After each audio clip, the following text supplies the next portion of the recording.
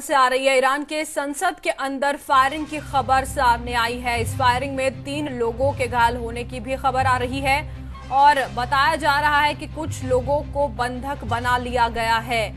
तो बड़ी खबर ईरान की संसद से इस वक्त आ रही है, जहाँ पर तीन हमलावरों के घुसने की खबर है। फायरिंग में तीन लोगों के घायल होने की भी खबर बताई जा रही है और जो लोग वहाँ संसद के अंदर मौजूद थे, उनमें से कुछ लोगों को बंधक भी बना लिया गया है। तो ईरान के संसद के अंदर फायरिंग की खबर सामने आ रही है और इस फायरिंग में तीन लोगों के जख्मी होने की भी खबर है। जो लोग अंदर संसद के मौजूद थे, बताया ये जा रहा है, जो भी शुरुआती खबर हमें मिल पा रही है, उसमें कि जो लोग वहाँ अंदर मौजूद थे, उनमें कुछ लोगों को बंधक भी बना लिया गया है। फायरिंग वहाँ पर शुरू कर दी गई।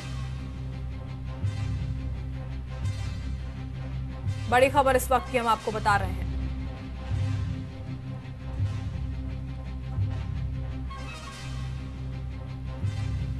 तो ईरान से ये बड़ी खबर आ रही है जहाँ पर संसद के अंदर फायरिंग कर दी गई है। लोग वहाँ पर उस वक्त मौजूद थे। कुछ लोगों के जख्मी होने की भी खबर यहाँ पर सामने आ रही है। कुल तीन लोग बताए जा रहे हैं। जिन्हें चोट लगी है वहाँ पर। और बाकी कुछ लोग जो वहाँ मौजूद थे, उन्हें बंधक बनाने की भी कोशिश की गई है।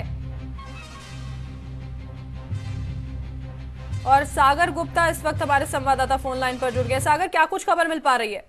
तीन बंदूकधारी ईरानी संसद में घुस गए हैं और दनादन फायरिंग शुरू कर दी है। एक गार्ड जो संसद के बिल्कुल निकास द्वार पर था, उसको, उसके पैर में भी चोट आई है। और जैसा हम अभी बात कर रहे हैं, अभी अभी जस्ट ये भी खबर आई है कि संसद के प्रतिनिधियों और कर्मचारियों को बाहर नहीं निकलने दिया जा रहा है और अभी भी ये तीन बंदूकधारी संसद परिसर के अंदर मौजूद हैं।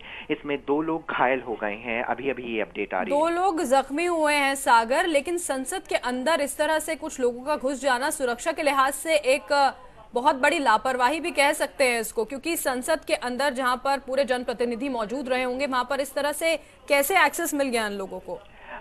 अभी बता दें कि संसद अभी सेशन में नहीं है तो अभी अच्छा। बहुत ही कम जनप्रतिनिधि अंदर मौजूद हैं। ज़्यादातर वहाँ का स्टाफ मौजूद है। हम्म। तो ये उन्होंने आ, क्या मकसद था? क्या ये आतंकवादी घटना है या ये लॉ एंड ऑर्डर की घटना है? ये अभी स्पष्ट नहीं हो पा रहा है क्योंकि पहचान नहीं हो पाई है उन तीन बंदूकधारियों की। चलिए बहुत बहुत शुक्रिया सागर इस तमाम जानकारी के लिए। ये राहत की बात है कि कम लोग वहाँ पर मौजूद थे।